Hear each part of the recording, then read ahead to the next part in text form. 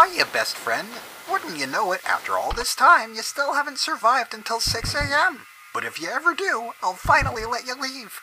Until then, friends, let's play.